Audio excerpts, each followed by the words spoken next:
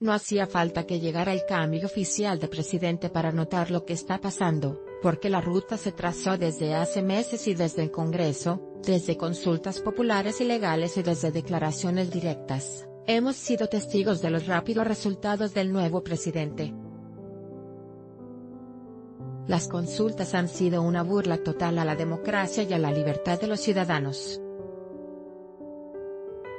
No han sido representativas, han sido organizadas por un partido político, y ni siquiera se esmeraron para aparentar que estaban bien organizadas o bien redactadas. El resultado de la primera consulta y el primer resultado del nuevo gobierno, antes de tomar protesta, fue que México dejó de crecer.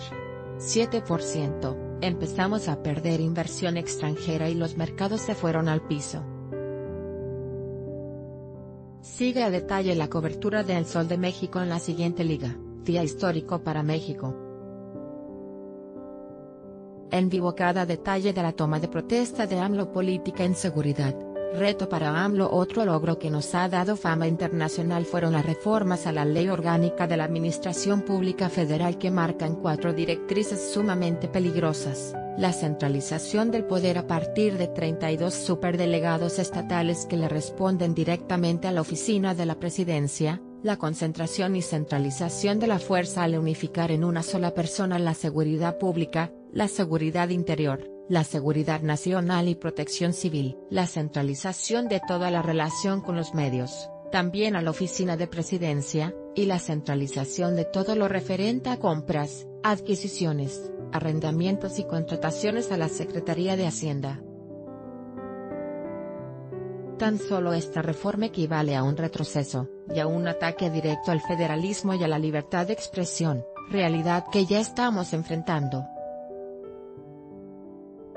La implementación de una Guardia Nacional, y la estrategia de seguridad que bien se podría definir como la militarización del país es otro logro aparentemente consumado que ha logrado que algunos de los mayores defensores de López Obrador empiecen a dudar de él. También son de resaltarse los cambios legislativos para tener fiscales a modo, y olvidar la batalla que se dio hace unos meses para que no se impusiera un fiscal carnal, al parecer ahora todos los fiscales serán carnales y veremos la politización de la justicia.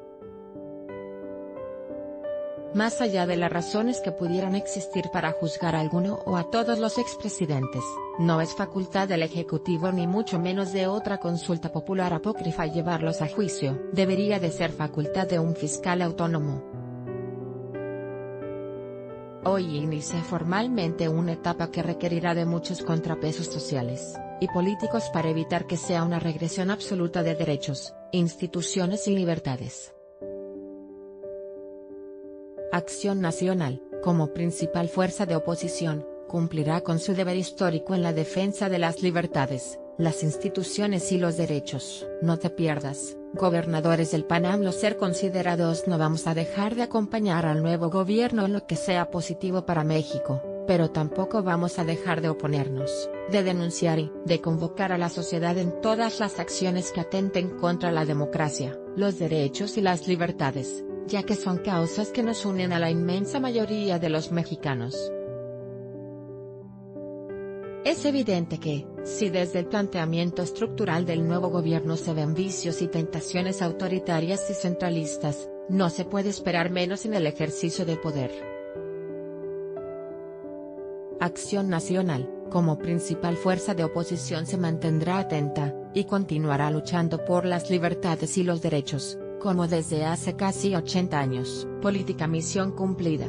Peña Nieto le dice adiós al Estado Mayor Política ANLO tiene todo para ser un líder mundial. Miguel Revillas Sociedad Cepeda insiste que se quedará al frente del CNTE hasta 2024.